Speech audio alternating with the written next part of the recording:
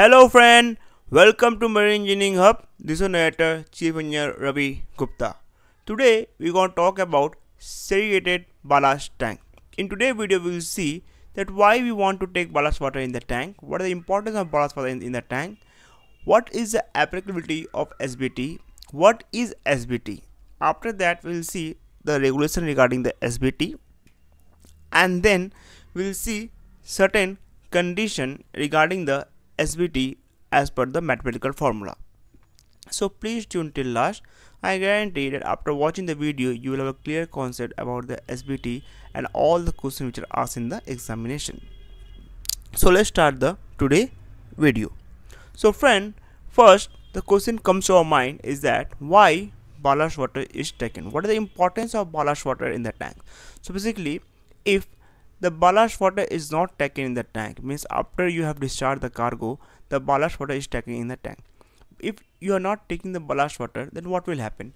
The propeller will not immerse. So as you can see in this diagram the propeller is not fully immersed as the cargo is being discharged. So when the ballast water will be taken the propeller will be fully immersed. If the propeller is not fully immersed. In that case the engine thrust efficiency will not be proper and hence there will be too much slip. After that the SBT or segregated ballast tank or ballast is taken in the water. Why? Because in order to maintain the optimum trim. If the trim is maintained proper in that case only the propeller will get immersed and then only you will get the proper thrust. So if the trim is not proper then you cannot run the engine efficiently. So the ballast water is helping to optimize the trim.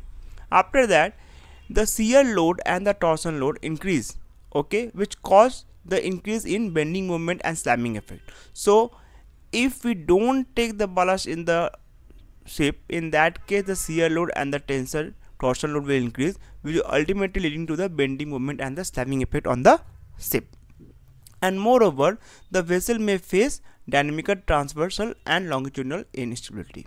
So as you can see all this problem is arising because of the not taking ballast water in that tank so ballast water is taken because of these four reasons okay. So now the question come to our mind that what is the applicability of SBT so SBT is mentioned in the regulation 18 of MARPOL. Okay so it basically it talks about that crude oil tanker having deadweight tonnage of 20,000 ton and product carrier having deadweight tonnage of 30,000 ton which are delivered after 1st June 1982 and all the other tanker of 70,000 ton delivered after 31st December 1979 shall be provided with the SBT segregated ballast tank. So this segregated ballast tank is basically what? It is basically a dedicated tank which is constructed solely for taking ballast. It means that suppose this is the ship midship section cross section. So as you can see this is the area where you are taking cargo.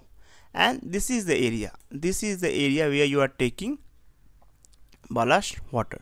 So this area and this cargo area both are separated completely separated means the piping arrangement of both the system are independent of each other. So if anybody asks you what do you mean by SBT so SBT are the dedicated tank constructed solely for the carrying ballast water and the system are completely separate from the cargo. This thing you need to tell in the examination. First it is constructed solely for the ballast purpose and it is completely separated from the cargo. And therefore it is called segregated. The word segregated come from this okay? And the segregated ballast tank have got advantage that it avoid any chance of mixing oil and water which usually happen when cargo hold are used to carry ballast. So let's try to understand this what i mean to say. Now suppose you are in normal case what you used to have you should have that you used to take ballast water in the same tank where we have taken cargo. Now suppose here is the cargo. After the cargo is discharged we are taking ballast water in this tank and you used to carry it. But after 1982 okay what happened? The concept of sbt came they are saying no no. When you are ever you are carrying the water in the cargo tank you are discharging contaminated water overboard. To avoid this they have come up with the sbt what they are telling they are telling that you should take ballast water completely separate. Means you are taking ballast water completely here completely separate from the cargo tank area. So as you can see in this in this here so what happened? Means when you are carrying the ballast water in the bottom. In that case it is called double bottom tank. When you are taking ballast water in the top it is called top side tank. Whenever you are taking ballast in the forward it's called forward peak tank.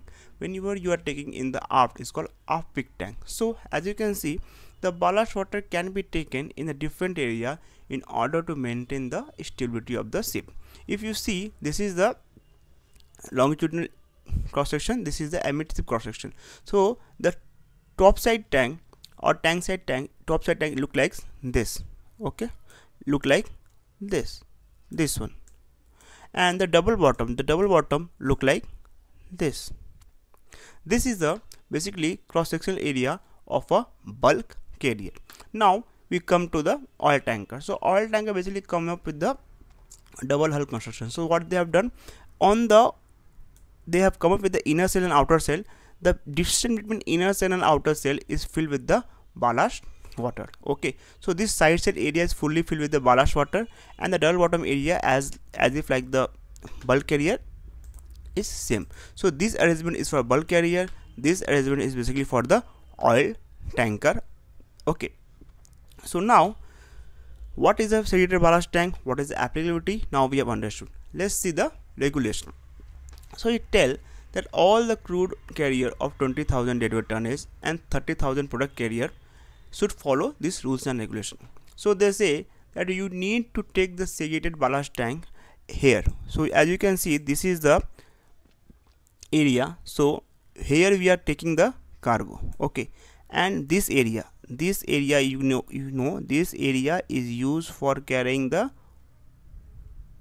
segregated ballast water now if anybody asks you in the examination can you take ballast water in the cargo tank so your answer should be yes we can take ballast water in the cargo tank even if the ship is provided with the SBT but there are certain criteria. Please hear once more. If the examination they ask, can you take ballast water in the tank if SBT is provided? The answer should be yes. But certain condition need to be fulfilled. So what condition you need to fulfill? So the first thing is that the first thing you need to fulfill is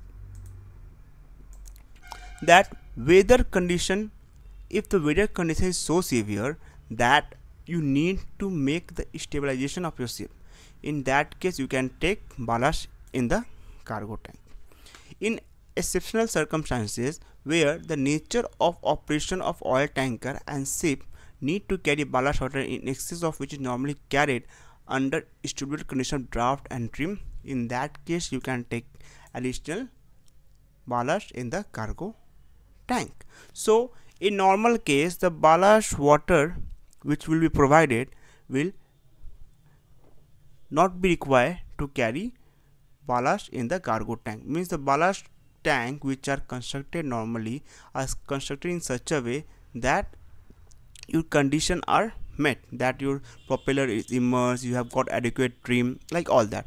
But you if you're wanting to take the ballast in the cargo tank in that case you you can take in certain condition.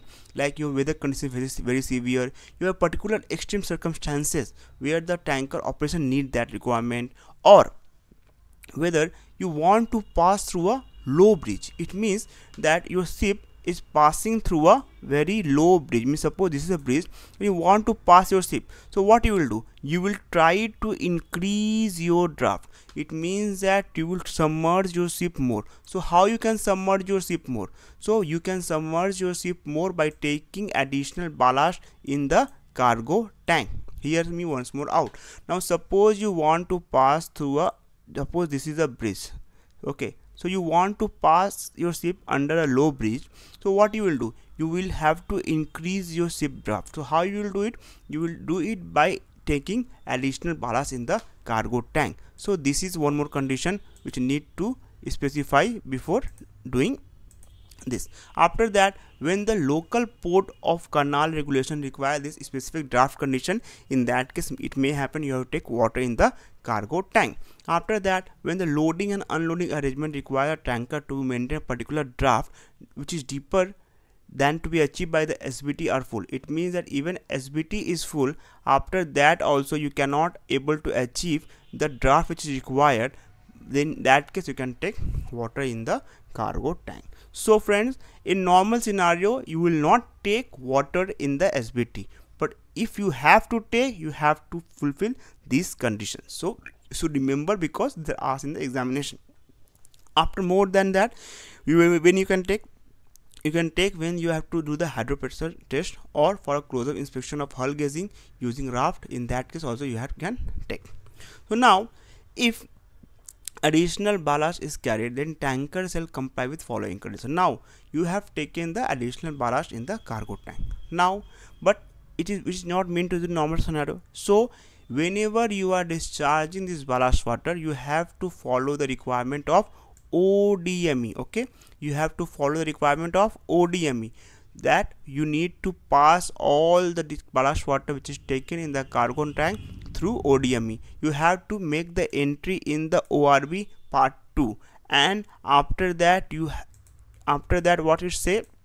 It also say in a crude oil tanker where the cargo tank to be ballasted our crude oil was as prescribed in regulation 35 it means that if you have a crude oil tanker before taking the ballast you need to wash it by the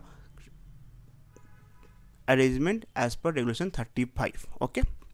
Now these are all the conditions now one more thing. In the examination they sometimes ask that what are the condition need to be fulfilled by a SBT so the condition which need to be fulfilled by a SBT is that that after you have taken water in the segregated ballast tank, you can make sure that your propeller is fully immersed. The first thing is that whenever you are taking means when the SBT is full means after taking water in the segregated ballast tank after unloading you your propeller should be fully immersed. You should have a trim. You should have a trim which is less than equal to 0.15 L. So your ship length, if, if your ship length is 100, then you should get a trim into 100. Okay. So you under, understand that? It means that you need to say that whenever you are taking full SBT, you should have a molded draft at ship 2 plus 0.02 L. L is the length of the ship. You should have a trim of less than equal to 0.015 L. You should have a propeller fully immersed condition. So these three things these three things are mainly asked in the examination that what condition need to be fulfilled as a SBT. It means that whenever you are taking SBT in consideration, you should make sure the capacity of SBT should be such that it should be able to fulfill these three criteria. Immersive molded draft should be 2 plus 0.02 greater than that trim by stern should be less than 0.015 L and propeller should be fully immersed. Okay? Then only you satisfy the condition of SBT tanker of length less than 150 should comply with the guideline with the above requirement. So basically the whole thing is based on this concept. So friend in today's video you have learned what are the condition which the SBT tanks will fulfill. What are the condition if you are taking additional ballast water what regulation you should follow and in which condition you can take additional ballast in the SBT what is the SBT and what is the advantage of ballast water? So friend if you have learned something in this video please do subscribe. Please do subscribe and please do say friends if you're watching the video till now I know that you want to pass examination swiftly. So I urge all of you please join the membership and finish the exam quickly. Thank you